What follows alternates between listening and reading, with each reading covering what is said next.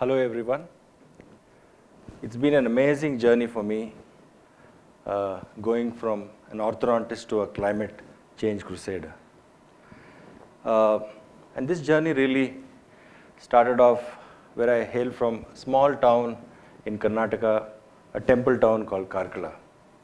My initial climate change passion came from this little town because I was so influenced by the simplistic town life that uh, this place had to offer. So I finished, I graduated my dentistry from Manipal, uh, mastered my art of dentist, uh, orthodontics in Davangere, and I started practicing dentistry in, in Bangalore.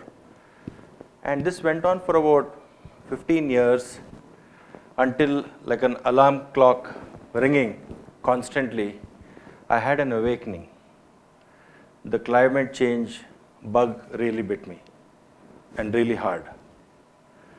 Uh, you know, reading has always been my passion because for medical you will have to read a lot of books, textbooks, and uh, this hobby actually became, uh, I got into a research frenzy. I started reading about the environment. I started visiting a lot of wildlife and nat- uh, national parks across the country. And I was really astonished to see that such beauty existed in our country and what we could do to preserve this beauty for future generations. And particularly, I was deeply inspired by a lot of environmentalists who were, of course, doing their little bit to uh, make this place a much better, you know, better world to live in. But then, as I looked around, uh, in spite of uh, multiple climate accords, you know, uh, a lot of summit declarations, really there was not much that was happening in the pollution space, particularly vehicular pollution and industrial pollution. So, you know, and I was sick of pointing fingers at others and saying, you know, nothing is happening here. So I said, what is it that I can do as an entrepreneur to bring about some innovative solutions to this particular space? Uh, an entrepreneur's journey is never easy. It's full of hurdles and sometimes a lot of missteps. Uh, my journey also was that. It was not a very smooth sailing journey.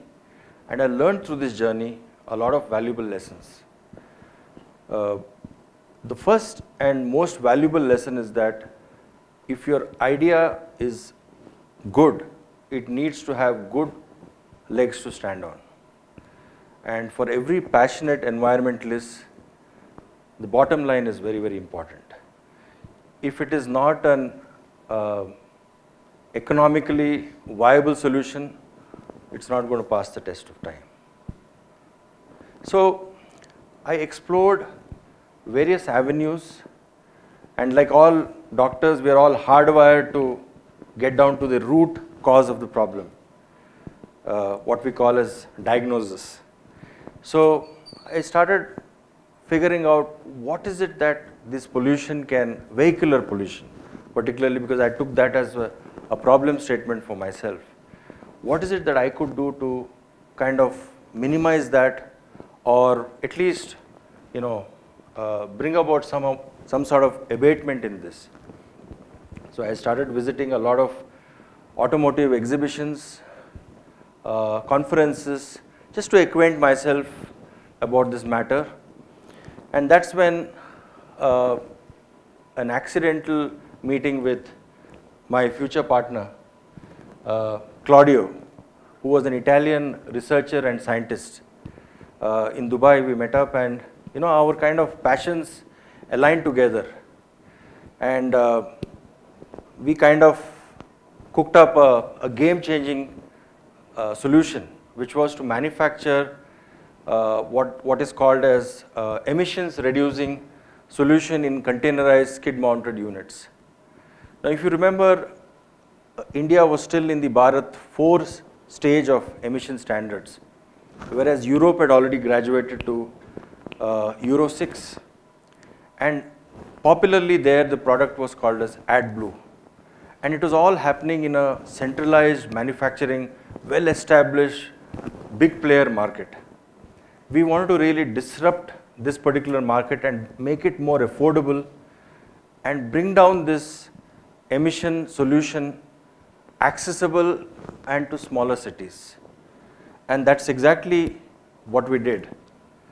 If you see here, you know, these are 40 foot containers, completely automated, and it could produce about 150,000 liters a day, approximately about 40 million liters a year. And the impact on the environment was huge. You had almost about 90% of uh, NOx emissions that were abated by this particular solution. And we had made it affordable, at the same time scalable. We ended up putting about six or seven machines across the country and produced close to about 200 to 250 million liters a year. You can imagine how much of carbon dioxide, particulate matter, and NOx emissions are being abated every single year as we speak. And I'm happy to say that I played a small part in this particular journey.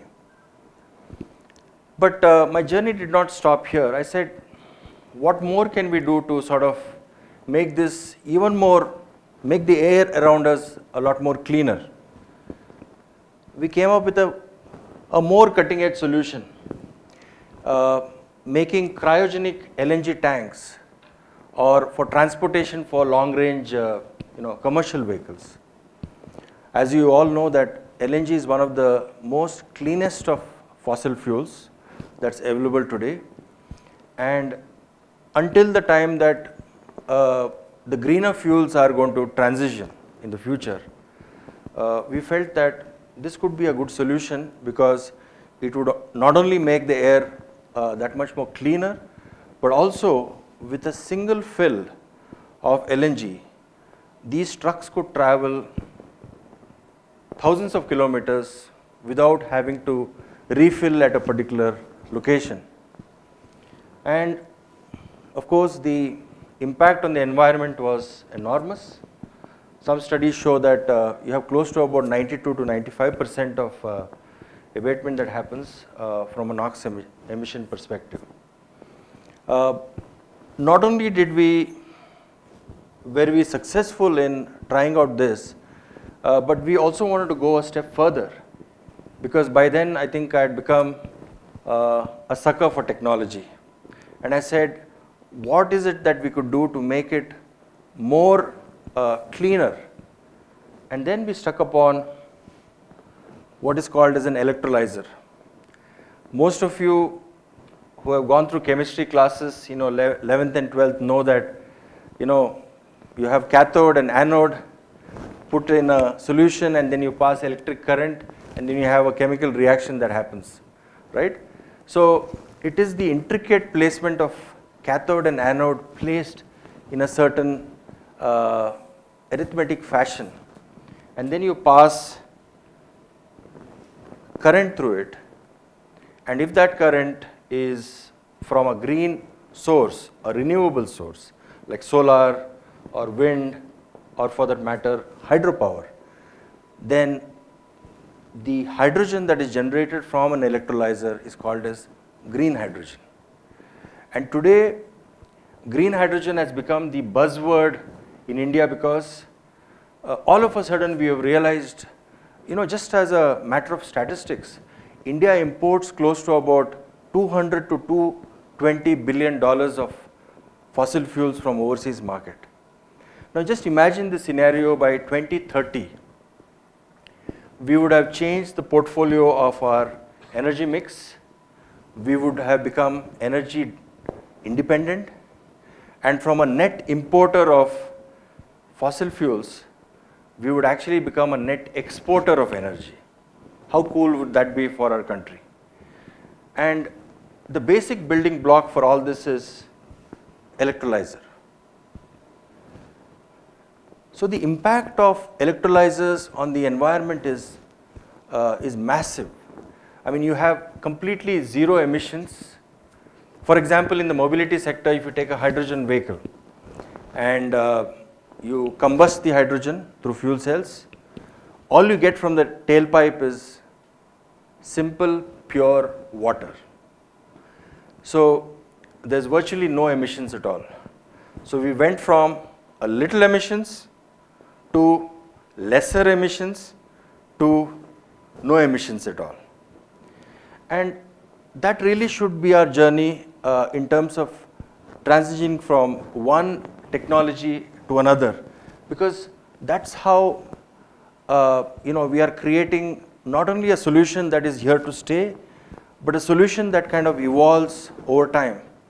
I've just put a chart here just to show you the various uses of hydrogen that can be uh, useful for our country, not only the mobility, mobility sector but also in the industrial sectors, the cement plants, the iron and steel industry. Uh, it can also be blended with natural gas for uh, gas pipelines and uh, most importantly for making a lot of green fuels like green ammonia, sustainable aviation fuel. Do you know that uh, in the years to come you'll probably have what is called as sustainable aviation fuel that will be used for aircrafts. And what is the the raw material for that? Simple water using electrolyzers.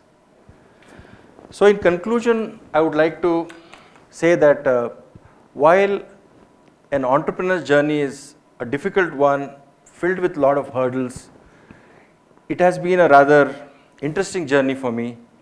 I've enjoyed every twists and turns that this journey has taken me. Uh, but at the heart of it is technology. I have embraced technology and I hope to continue to uh, bring in new innovative technologies indigenize it and bring it to scale for the better good of our country and the world at large. Thank you very much.